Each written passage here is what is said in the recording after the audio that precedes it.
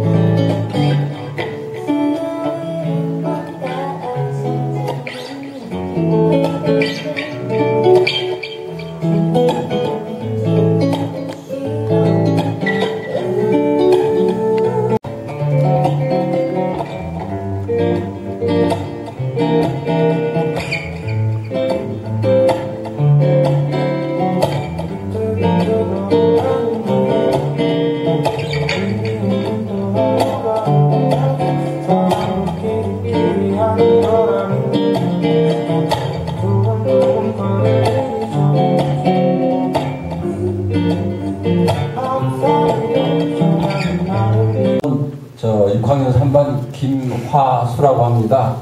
어, 실력이 뭐, 저, 그렇게 뭐 특별한 사람 아닌데, 그냥 목소리로 한번 승부할 테니까 잘 들어주시기 바랍니다. 고맙습니다.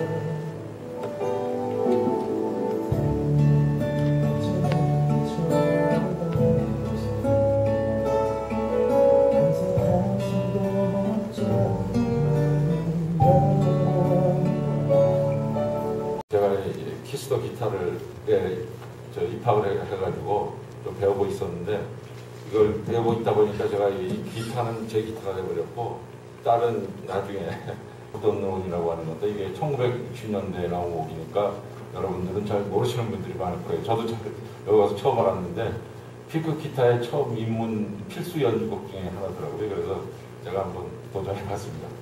연주해 보겠습니다.